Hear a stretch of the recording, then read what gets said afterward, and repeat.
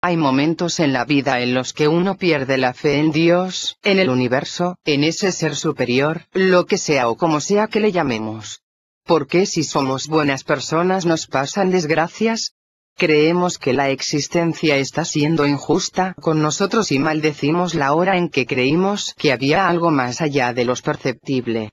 En esa situación estaban Ginger y Joel Millermon, una pareja de creyentes enfrentando una gran adversidad. Acababan de tener mellizos y uno de los bebés, Harrod, estaba tan grave que los médicos le habían desahuciado. Ginger y Joel Millermon no podían ser más felices cuando se enteraron de que iban a tener mellizos. Sin embargo, el parto se adelantó dos meses y los médicos pusieron a sus hijos en una incubadora, ya que sus pulmones no estaban del todo desarrollados. Los doctores se dieron cuenta de que la incubadora estaba dañando sus pulmones y podían morir, especialmente el pequeño Jarrot. Me dijeron que no podía tocarlo, solo mirarlo y decirle adiós.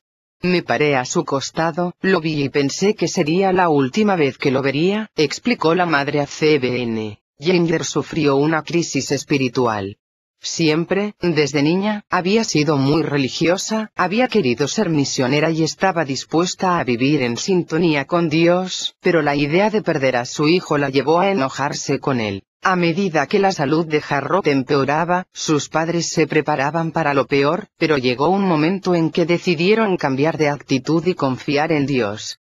Según explicaron, decidieron aceptar lo que fuera que había decidido para ellos incluso si eso implicaba que se llevara a su hijo. Llegado el momento crítico, los médicos dijeron que ningún tratamiento funcionaba y que debían decidir si desconectar a Harrod para así terminar con su sufrimiento. Las opciones que les dieron los médicos, teniendo en cuenta el estado crítico de Harrod, eran quitarle el oxígeno o dejar de administrarle medicación.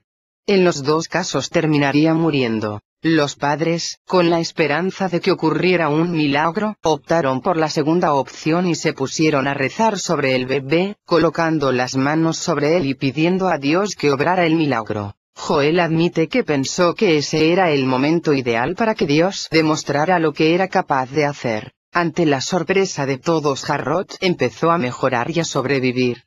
Han pasado ya 10 años y este bebé milagro es hoy casi un adolescente. Qué emocionante, ¿verdad? Este tipo de sucesos te hacen creer en los milagros, en que hay algo ahí escuchándonos. Comparte su historia, por ahí ayuda a alguien a que recupere su fe en que hay algo más allá de lo meramente perceptible. Si te gustó esta increíble información comparte con tus amigos y no olvides darnos un me gusta.